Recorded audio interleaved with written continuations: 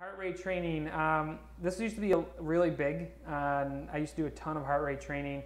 Heart rate is tough if you are not really been doing it for a long time. So what I'd actually recommend, there's different zones for heart rate training. I would recommend anyone who's thinking about going this route to just train by pace for like maybe a year and then observe their heart rate.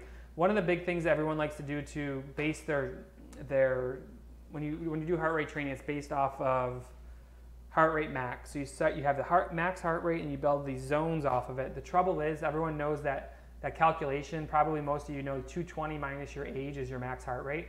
Um, there was a study done many moons ago that found that was about 50% accurate. So that in heart rate is, is very variable between one person to the next. It's trainable, so it adjusts. Like you can move your max heart rate up if you're starting from scratch. So I'm not I'm not super big on heart rate anymore um, because it's so variable and it's tough to monitor. Um, and also, there's something called cardiac drift. So you try to stay in a zone and if you start to try to stay in that zone the entire run, what ends up happening is you have to slow down because naturally your heart rate increases over time with just the same effort.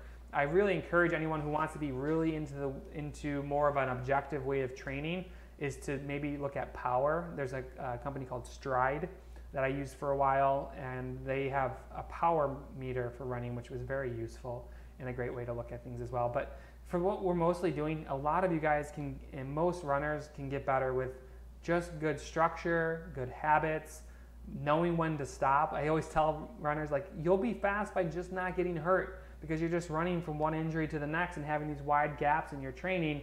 So you want to avoid those wide gaps is the big thing. So from, from a heart rate standpoint, just be careful. The 220 minus your age doesn't work. There's actually a max heart rate test, which is like five hill sprints as hard as you can. And taking the, the max heart rate out of all five of those sprints.